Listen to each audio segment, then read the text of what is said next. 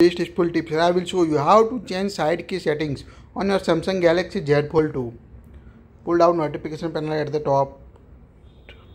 Tap on a setting gear icon. Scroll down and tap on advanced features. Here you can see side key. Tap on it.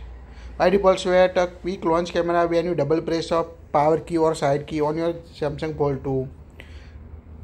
When you double press you can quickly launch camera on your device.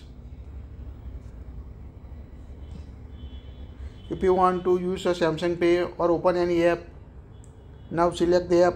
If you want to here we select chrome app. Now double tap power button or side key. You can see open google chrome on your device.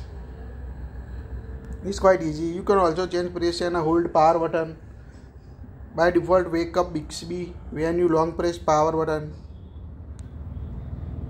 in your device.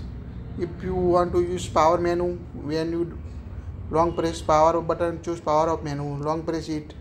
Now you can see power menu appear on your device. Also tap on side key settings here to change the side key setting on your device. It's quite easy. That's it. Please like it, share it, and don't forget to subscribe to get latest tips.